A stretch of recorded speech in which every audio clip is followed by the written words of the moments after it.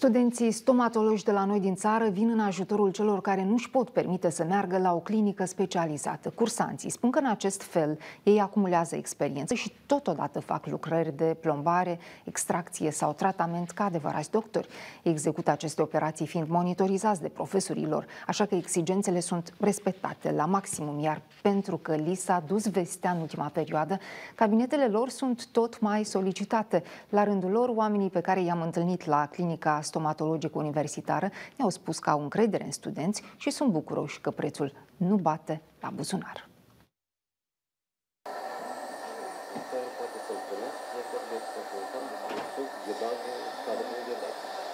Chiar de la începutul anului universitar, studenții stomatologi sunt asfaltați de pacienți. La ușa cabinetului lor stau vârstnici, tineri și părinți care își aduc micuții la un control stomatologic. Pe Corina Moscalencu am găsit-o deja în fotoliul stomatologic. Ea ne mărturisit că vine încoace deja pentru a patra oară deoarece a început un tratament. Potrivit tinerei paciente, prețurile de aici sunt practic în jumătate, viitorii specialiști lucrează foarte bine, iar ea este mulțumită de rezultat. Sunteți-o sub mâna profesorilor, dar și a studenților. Cum vă simțiți?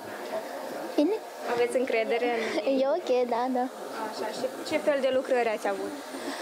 Uh, până când doar care, curățirea carilor. Și uh, observați aceste mm, schimbări? Da, au dispărut durerile. Da, sunt mult mai ok decât înainte.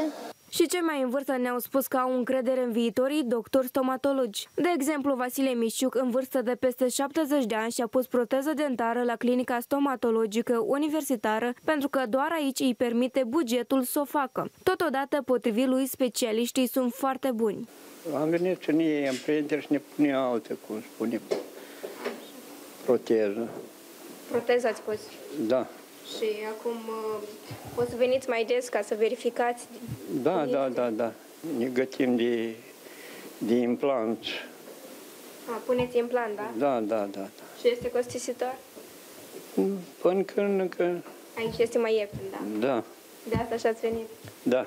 Iar acest student este în anul 3 la stomatologie și spune că astăzi este pentru prima dată când a realizat o lucrare mai deosebită. Recunoaște că nu a fost greu pentru el, întrucât a fost ghidat de profesor. Astăzi l-am ajutat pe domnul profesor să aplicăm ațe de retracție pentru următoarele coronițe metaloceramice și am efectuat amprentarea pentru viitoarele proteze mobilizabile.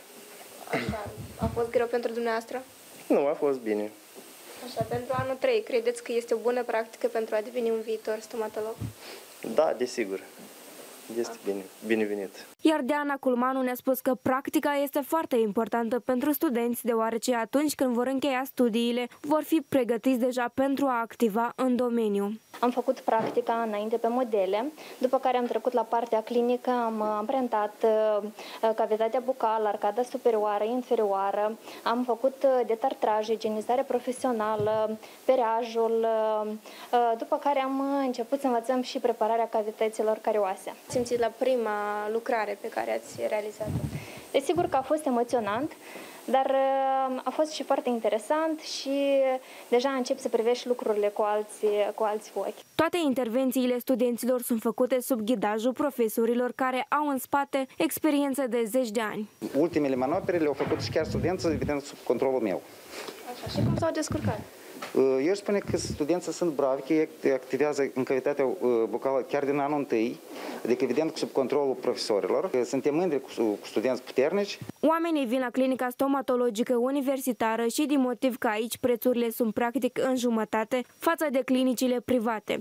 Deci toți pacienții care se adresează și sunt tratați de către studenți au beneficii de minus 25, minus 50% la serviciile stomatologice acordate în clinica, în clinica universitară. Pacienții pot beneficia de servicii și fără plată în baza asigurării medicale obligatorii. Pentru asta este necesară recomandarea medicului de familie care facilitează accesul persoanei asigurate la toate nivelurile de asistență medicală în volumul stabilit de programul unic al Companiei Naționale de Asigurări Medicină.